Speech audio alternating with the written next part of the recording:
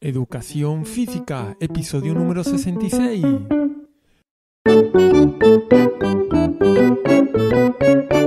Muy buenos días de nuevo a todos y bienvenidos a un nuevo programa, a un nuevo episodio de Educación Física, el podcast en el que hablo de todos aquellos aspectos que de un modo u otro están relacionados con el movimiento y la educación. En este podcast podrás encontrar recursos, experiencias, juegos e ideas que espero que te sean de utilidad o al menos te puedan inspirar para tus clases diarias, para tus clases reales del día a día. Y por qué no, pues también encontrarás un poquito de motivación. Estoy grabando en Araal, Sevilla, pero esta entrevista fue grabada a finales de septiembre también en, en Sevilla junto a Manuel. Y te digo esto porque ahora te comento de qué va. Mi nombre es Francisco Javier Vázquez, como ya sabes, del blog El Valor de la Educación Física. Y si no lo has hecho todavía, pues te invito a visitar el valor de la educación física.com. En el día de hoy te quiero hablar sobre, o más bien, yo no te quiero hablar, bueno, te quiero hablar, pero no voy a ser yo quien hable, sino que va a ser Manuel el que nos va a hablar de un nuevo deporte alternativo, el Ringol. Manuel es el presidente de la Asociación eh, Deportiva Ringol y nos va a hablar de este deporte alternativo realmente interesante que también es muy cooperativo e inclusivo que nace desde la educación física con los aportes educativos educativo que esto conlleva. Entonces te invito a que descubras este nuevo deporte alternativo. Pero antes, ya sabes que si me quieras hacer llegar cualquier tipo de duda, consulta el valor de la educación física.com barra contactar. Y la segunda cosa, eh, el curso de expresión corporal sigue adelante y eh, bueno, hemos tenido en esta última clase hemos visto el tema de la dimensión comunicativa, la segunda parte, y hemos visto los contenidos que componen esta dimensión, qué aspectos podemos trabajar y, por supuesto, ejemplos prácticos de todo ello. Echarle un vistazo porque realmente es interesante. No solamente está el curso de expresión corporal, sino que, como sabes, existen otra serie de cursos como el de orientación, de evaluación, de programación, de TIC y educación física, eh, de juegos con material reciclado, de gamificación, etcétera, ¿no? Y tienes acceso a todos ellos por 10 euros al mes. Así de simple, así de fácil. Y si por lo que sea no eh, te convence lo que ves, entra y lo que ves no cumple tus expectativas, no es lo que esperas, me lo dices y sin ningún problema y sin ninguna pregunta te hago la devolución del dinero. Así de fácil, ¿vale? Y bueno, ahora sí, vamos a ver de qué se trata este nuevo deporte alternativo de la mano de, Manuel. Así que os dejo con la entrevista.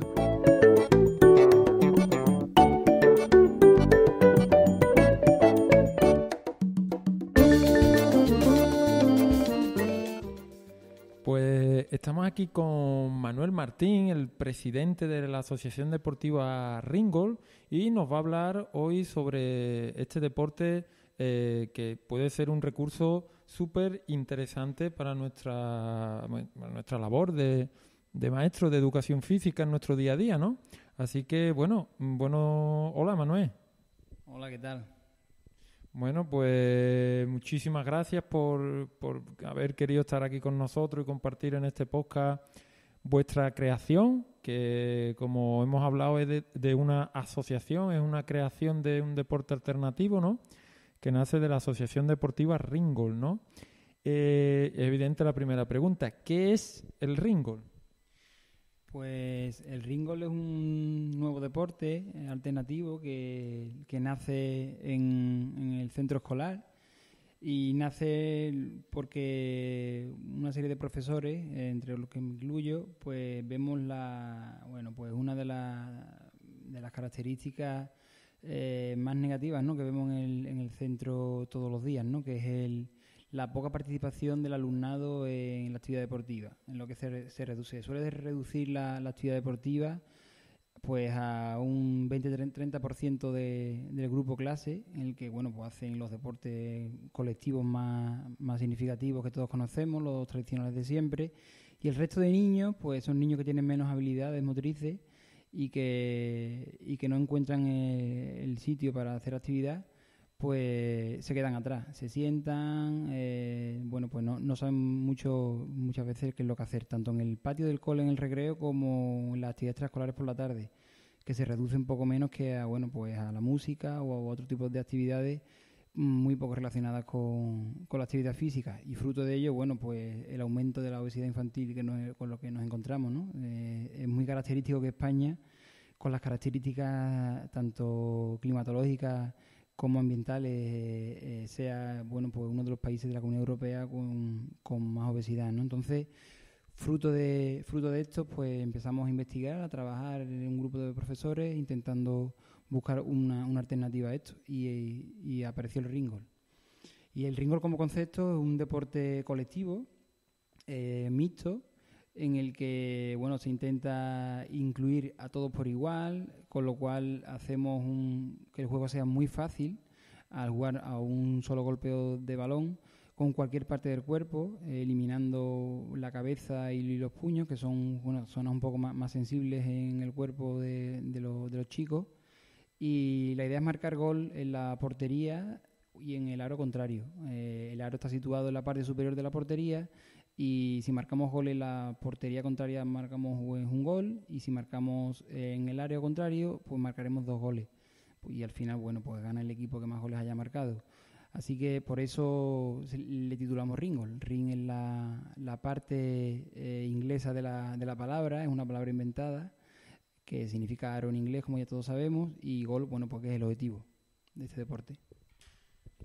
Bueno, Manuel, como estás comentando, veo por lo que comentas que, que bueno, que el ring tiene una grande, tiene muchas de las características que, que tienen estos nuevos deportes alternativos que están surgiendo desde desde la educación física, ¿no? desde la propia educación, como puede ser el tema de la participación. Y es que muchas veces el tema de los deportes tradicionales se asocian a ciertos estereotipos, bien sea de chico, bien sea de, de chica, y hacen que muchos niños eh, pues se vengan un poco atrás, ¿no? Y tema de, como estamos hablando hoy del ringol, pues puede ser un, un punto de partida cero, es decir, nadie sabe qué es el ringol, lo empezamos a conocer y no los propios niños no pueden asociarlo a ningún tipo de estereotipo, lo cual me parece un punto fantástico a, tu favor, ¿no? A, favor de, este tipo de, deportes alternativos.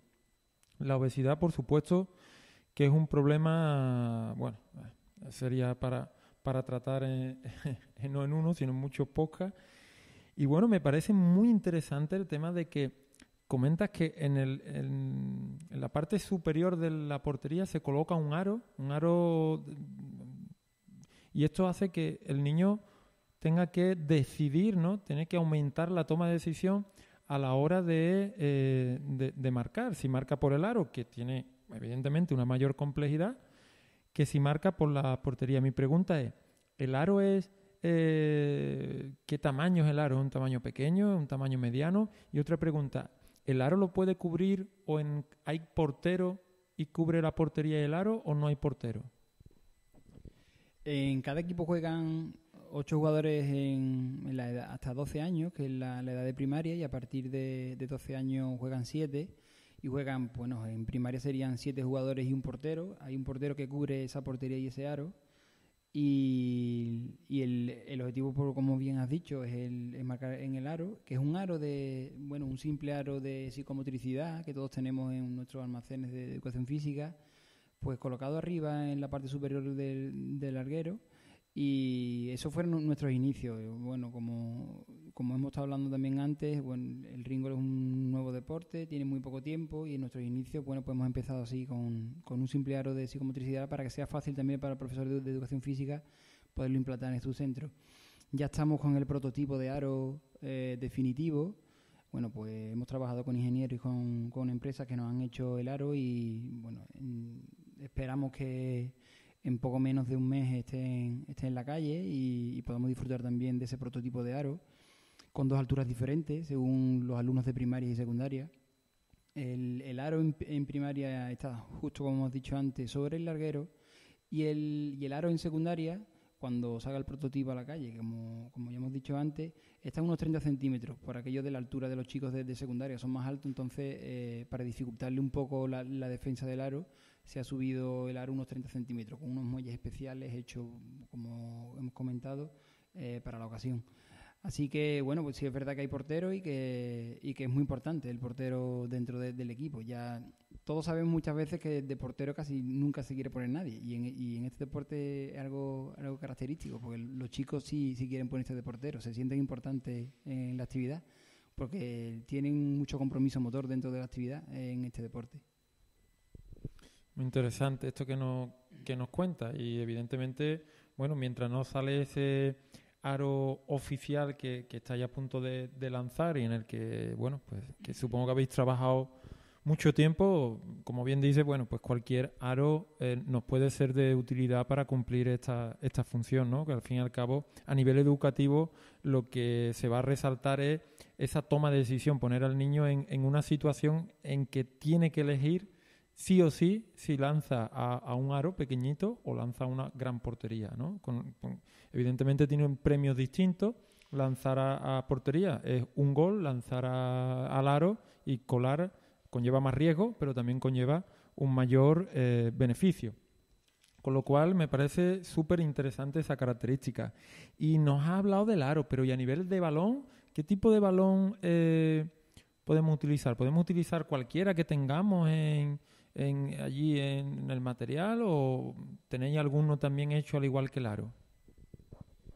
Bueno, pues el, el balón que era la, la figura principal del deporte, ya sí nos pusimos manos a la obra desde casi el primer día en la elaboración y la fabricación de, del balón y es un balón bueno pues especial para Ringol en el, un balón de plástico que aparentemente parece un balón como cualquier de nosotros podemos tener en el almacén pero no es así. Es un balón con unas características muy concretas, eh, tiene unos 200 gramos de peso, unos 73-75 centímetros de circunferencia, con un plástico, eh, un balón de plástico, con un bote dinámico eh, que, lo hace fácil al golpeo y un material de plástico que, que bueno que si golpeamos en, en, cualquier parte del cuerpo de los chicos pues no, no duele. Así que eh, un balón, además, lo hemos hecho, eh, también tenemos la, la, intención de hacer el deporte lo más inclusivo posible y se ha hecho amarillo, fluorescente, como lo puedes ver aquí también,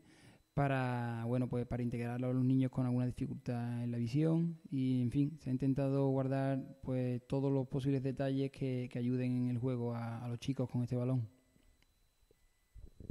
Bueno, pues hasta ahora vemos eh, que, bueno, básicamente necesitamos muy poco para, para poder practicar este deporte, con lo cual no es ningún impedimento el hecho de, de, tener que necesitar materiales especiales, aunque existe un balón especial y estáis trabajando en un aro especial, también a nivel educativo, pues podríamos comenzar desde prácticamente ya con lo que tenemos en el almacén, porque ¿qué dimensiones o en qué campo se suelen jugar? Podríamos cambiar esas dimensiones o básicamente? Pues también se, se, estudió la forma de que el, deporte fuese fácil de, proyectar en los diferentes centros y se, se pensó en la pista, no, la pista de juego, la superficie de juego que casi todos tenemos en nuestros centros educativos, la pista polideportiva de 40 por 20 con sus dos porterías y sus dos aros, cada aro encima de cada portería. Poco más, la verdad que eh, para hacer ringol se necesita muy poco. Es un deporte muy fácil de jugar, los chicos en, poco menos de una semana eh, están jugando perfectamente, eh, sin casi sin ayuda del, profesorado, que eso también es una, es una ventaja porque lo, lo hacemos mucho más autónomo. A los chicos preparan ellos sus propios partidos, sus propias actividades y no necesitamos estar tan pendientes de ellos en cuanto a la reglamentación tiene reglas muy básicas, es muy fácil de jugar y, en la superficie de 40 por 20 con dos porterías y un balón es más que suficiente. Estupendo, es decir, que necesitamos nada para poder eh, para poder eh, practicar el ringol, pero que duda cabe que si podemos acceder a, a, un balón un poco más específico, que también puede que nos sirva luego para otras actividades, Además, eh, lo podéis encontrar en la página web de, esta asociación y es probablemente uno de los pocos medios que tienen ellos para subvencionarse un poco toda la labor que hacen, que es bastante impresionante. Podéis visitar su web, que era eh, ringol.es, ringol.es.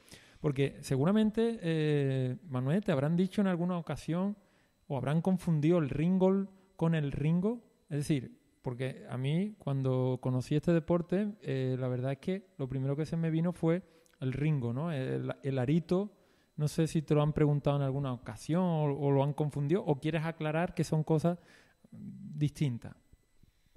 Pues sí, y además se da la, la, la característica, la casualidad y la anécdota que cuando comenzamos a intentar bautizar este deporte, pues empezamos a buscar por internet para que no se, para que no se copiara con, con lo que ya existía, ¿no? Y es verdad que, bueno, dimos con la clave de Ringol, que tiene, tiene su sentido, como ya hemos dicho antes, ring más, más gol, es la unión de dos palabras, una inglesa y una española, por aquello de que el objetivo principal es marcar goles en el aro contrario.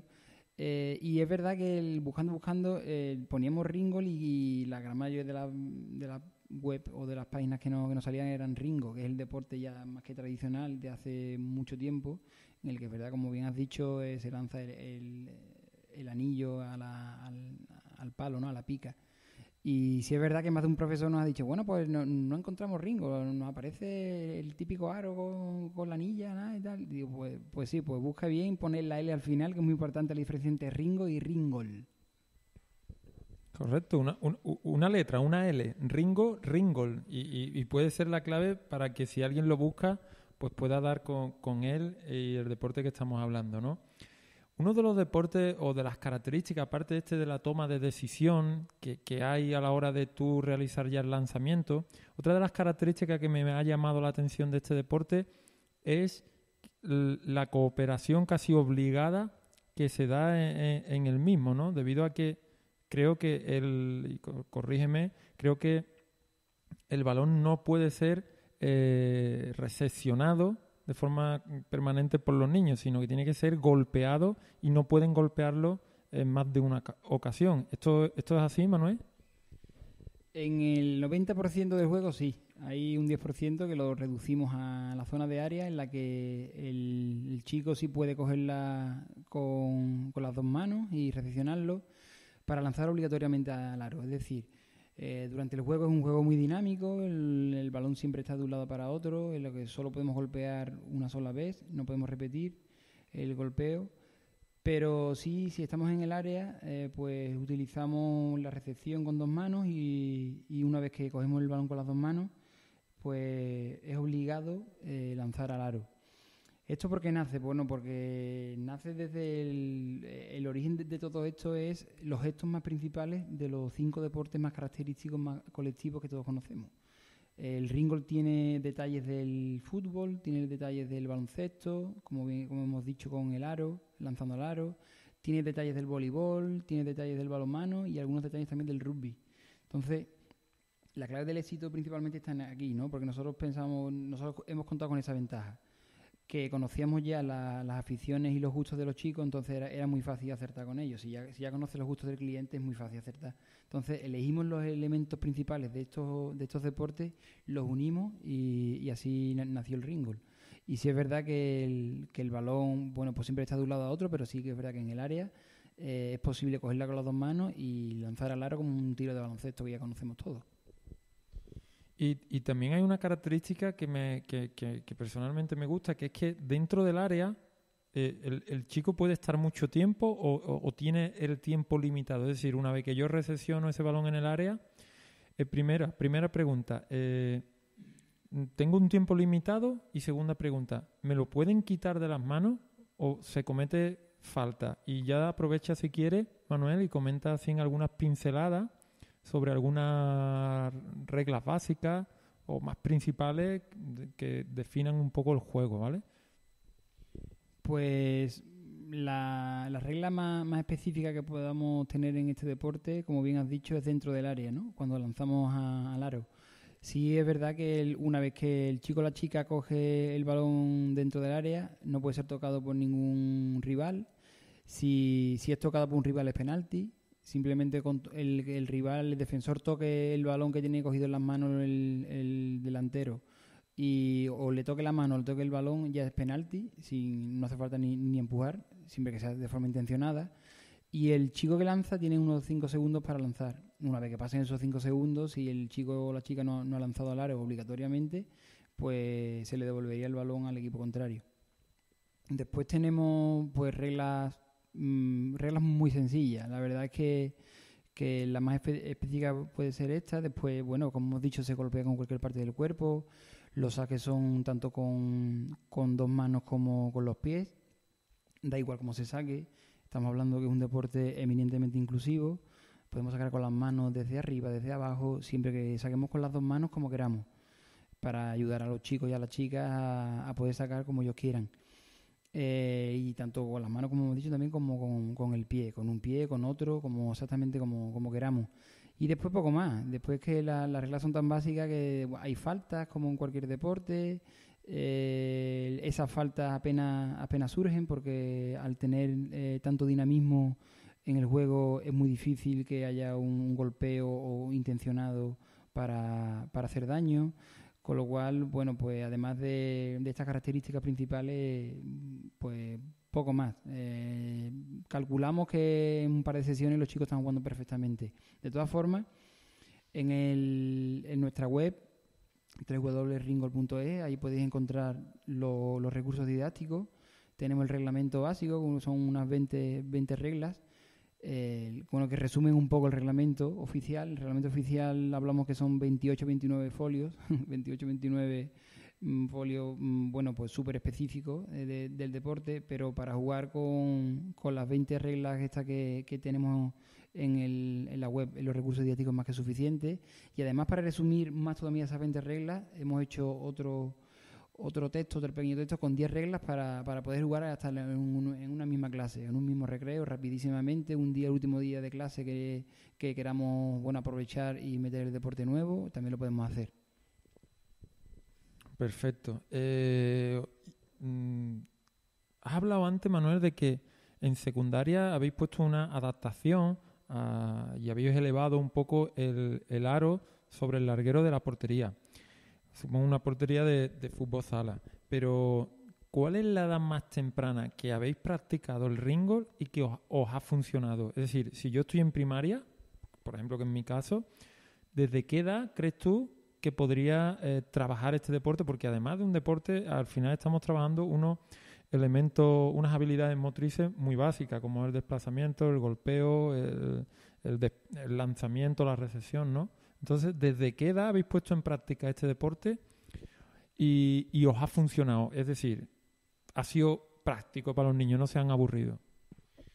Me alegra que me hagas esta pregunta porque sí se nos ha dado más de, más de un caso en el que los profesores bueno, pues no, nos preguntaban ¿no? el, cuándo orientamos a empezar.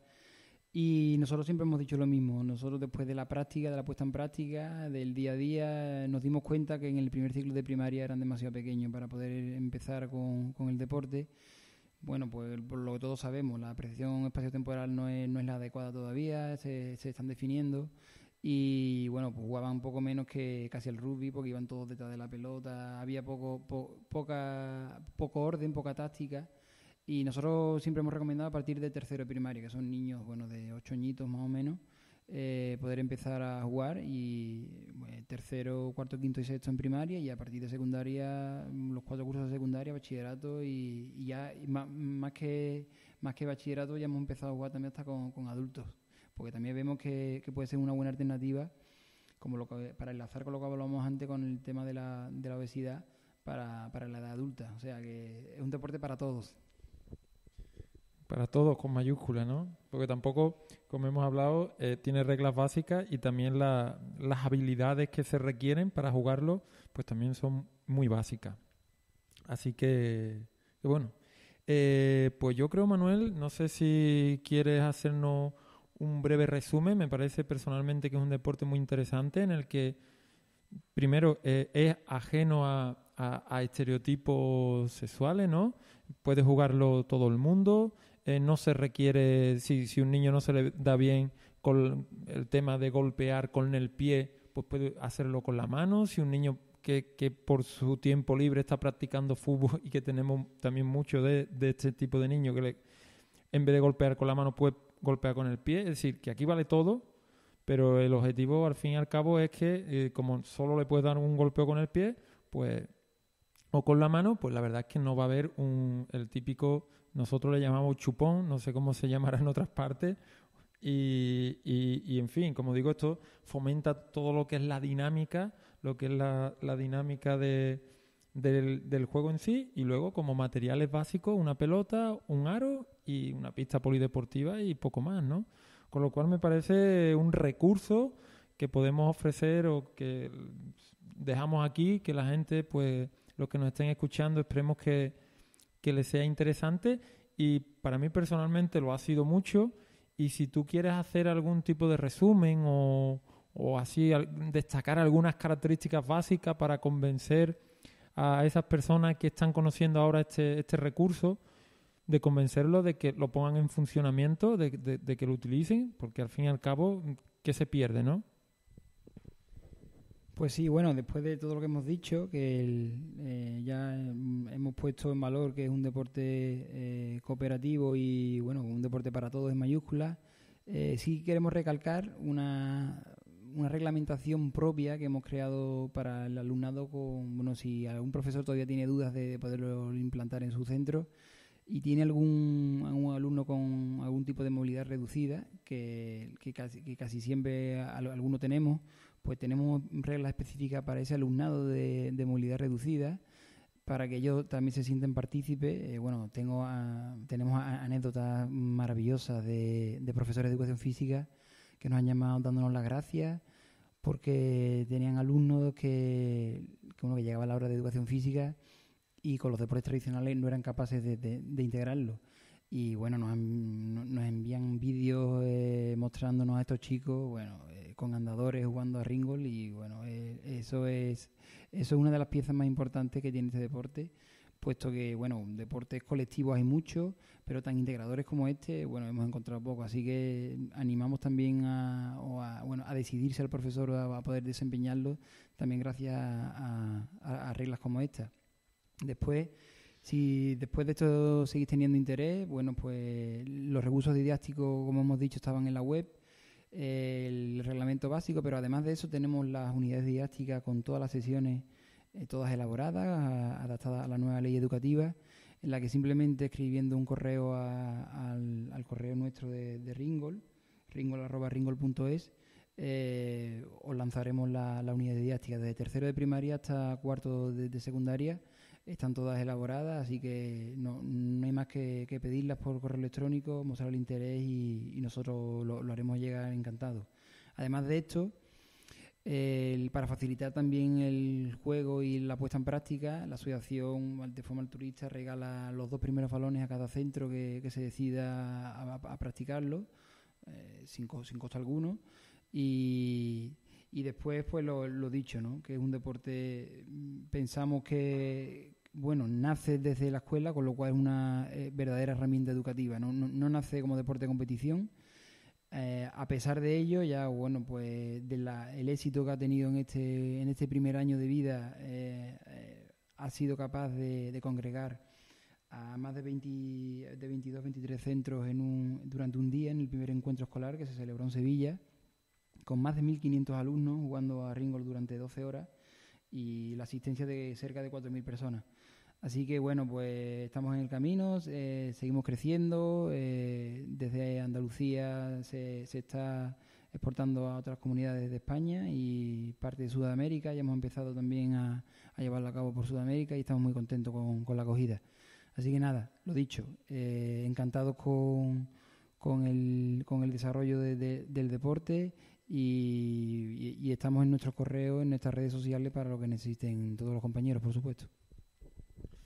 Supongo, Manuel, que, me ha llamado también mucho la atención el tema este que has mencionado de reglas adaptadas para chicos con movilidad reducida. Supongo que eso, que, no lo tiene prácticamente, yo es la primera vez que escucho hablar de, este tipo de reglamento adaptado con movilidad reducida dentro de, un juego normal. Es decir, tú puedes encontrar un reglamento adaptado para un grupo de personas que tienen cierta movilidad reducida, pero todas. Pero dentro de la, del propio juego, de que haya reglas para chicos con movilidad reducida, me parece súper interesante. Supongo que ese tipo de reglamento nos lo podemos bajar de, la web, ¿no? Que, que, supongo que, bueno, que lo sepáis que es ringol.es. Y después también me ha llamado la, atención eh, el hecho de que regaléis dos balones eh, a cualquier centro que quiera pedirlo, sin coste alguno. Si la asociación corre con los gastos, que no andáis muy bollantes, pero corréis con los gastos. Me parece una cosa genial. Y si alguien se, si alguien se anima a, a esos dos balones, ¿qué tendría que hacer? Pues tan fácil como escribir un correo a ringol.ringol.es mostrando interés en la, en la actividad, en, llevarla a cabo y, poco más. Es que no, no, pedimos nada más. se, le, se le pasa un cuestionario muy básico con, bueno, pues con la información del centro educativo, con el profesor que, esté llevando a cabo la actividad y, y es que no, no pedimos nada más. Muy bien, pues la verdad es que me parece una bueno me parece una acción bastante bastante bueno bastante generosa y que mm, bueno pues que todos podríamos podríamos aprovechar. Y, y poco más Manuel. Eh, una última cosa simplemente eh, tenéis redes sociales hemos hablado ya de la página web de ringol.es hemos hablado del correo electrónico ringol@ringol.es recordad ringo con L ringol siempre ringol con L y, no sé, no por último, no sé si quieres mencionar alguna otra forma de que la gente se pueda poner en comunicación con vosotros. Pues estamos activos en las redes sociales, eh, intentamos actualizarlos de forma semanal. Estamos en Facebook eh, con Ringol Deporte. Si ponemos Ringol Deporte tanto en Facebook como en Twitter como en Instagram, pues encontramos Ringol, además de la web. Y bueno, pues ahí están todas las novedades. Ahora, por ejemplo, comenzamos la primera Liga Ringo, la, lo hacemos el 28 de octubre que comenzamos y, por ejemplo, está toda la información de la liga eh, y, todo lo que todas las novedades que, vamos consiguiendo poquito a poco están todas subidas de forma casi semanal eh, en las redes así que animar a los, a los compañeros a que, a que nos puedan visitar y que si gustan por, por supuesto que lo practiquen bueno, Manuel, pues a mí solamente me queda que decirle a, los compañeros que nos escuchan, pues decirle que todos los enlaces eh, pues lo estarán en, en el artículo que acompañan a este podcast. Eh, poco más, Manuel, solamente darte las gracias por invertir parte de tu tiempo en ofrecernos este recurso tan, tan útil, creo, y tan, bueno, de forma tan un poco especial, ¿no? Estamos faltos muchas veces de, de recursos de este tipo tan creativos y que pongan en alza todo el tema de la cooperación, de la integración, de la inclusión, de la toma de decisiones, de que aumenten, ¿no? Y la verdad que muchísimas gracias por ofrecernos este recurso y espero que, ah, bueno, espero que sea útil a todo el mundo y yo desde mi punto de vista no lo he puesto en práctica de momento, de momento, pero lo pondré en práctica y es mi intención intentar ponerlo en práctica este año y así que desde ya a nivel teórico me parece un deporte bastante interesante y os animo también a todos a que podáis incluirlo, como bien dice Manuel, en uno o dos días de estos últimos que tenemos en el trimestre, por si tenéis ya la programación hecha, incluirlo a ver qué tal, a ver qué funciona, como una especie de, de prueba piloto, ¿no? Manuel, muchísimas gracias por, repito, ser tan generoso y ofrecernos este recurso educativo y nada más. Pues muchas gracias, Vicky, por, por habernos invitado al blog y bueno, también agradecerte tu labor, ¿no? El que nos abre mucho la, la mente a, todos y, y, que también es de valor. Así que también muchas gracias a ti.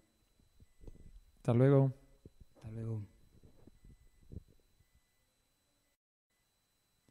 Bueno, y ahora que Manuel no nos escucha, pues bueno, quería comentaros que además de todos esos recursos que, ofrecen gratuitamente esas unidades didácticas y demás, pero que si queréis conocer de primera mano la experiencia de cómo llevar a cabo, de cómo secuenciar eh, este deporte, de cómo sacarle y exprimir todo el jugo que, se le puede decir, pues solamente me lo tenéis que comentar y intentaré hablar con Manuel y la asociación de de Deportiva de Ringgold para que nos haga un curso específico de este deporte porque realmente creo que es muy interesante. Así que ya sabéis, si estáis interesados, solamente me lo decís y ya intento convencer a Manuel, lo engañamos para, para que nos pueda hacer un curso. Como siempre, soy todo oído para abordar aquello que realmente os interesa. En fin, señores, pues hasta aquí este podcast de hoy y como siempre espero que, te haya sido de utilidad, que te haya dado un nuevo recurso y si es así y quieres compartirlo con alguien, pues estaríamos encantados de que puedas compartir el podcast para que, eh, bueno, ofrecer otro recurso más, un deporte alternativo nuevo a otros compañeros, ¿no? Y si quieres ayudar también a que el podcast pues siga adelante y pues te invito a que dejes una reseña, una valoración de 5, de 4, de 3, en fin, de las estrellas que consideres oportunas eh, en iTunes o bueno, si me escucha desde Ivo en Ivo, si me escucha desde Spreaker en Spreaker o desde cualquier, desde la plataforma en la que, que, lleves a cabo la escucha, ¿no? Y muchísimas gracias por suscribiros a los cursos y hacer de este proyecto sostenible y sobre todo por estar ahí al otro lado, porque sin vosotros, pues nada de esto tendría sentido. Así que te espero por aquí en el próximo programa y mientras tanto disfruta de la semana y del día a día. Hasta luego.